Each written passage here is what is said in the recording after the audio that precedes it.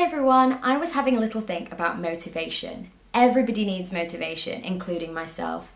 You know, sometimes I'm feeling a little bit sluggish and I don't really feel like doing anything. So today I thought I'd give myself a 60 second pep talk and share it with you. And hopefully, we can do this each week, and the positive energy will rub off on you, and hopefully, you can do big things too.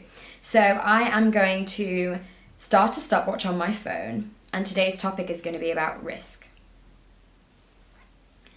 Taking risks is really important if you want to be an entrepreneur or if you just want to achieve big things. The most successful people have taken huge risks in life to get where they are today. I saw a quote on Richard Branson's Facebook page and it said, Don't be afraid to take a big step. You can't cross a chasm in two small jumps. So if you have a big idea or you have a belief that someone else doesn't agree with but you think it can work, I say take that risk because otherwise you'll never know. I wouldn't be the travel blogger that I am today if I hadn't have taken the risk and said no to the 9 to 5.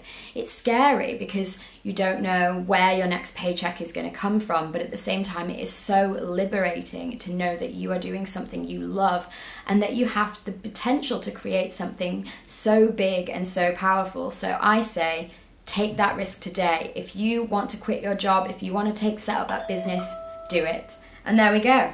Time's up. 1 minute's over.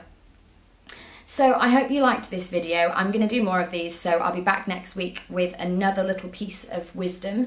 Um, and in the meantime, if you'd like to leave a comment below, I'd love to hear from you and see if you like this kind of thing and if it works for my YouTube channel. So um, see you soon.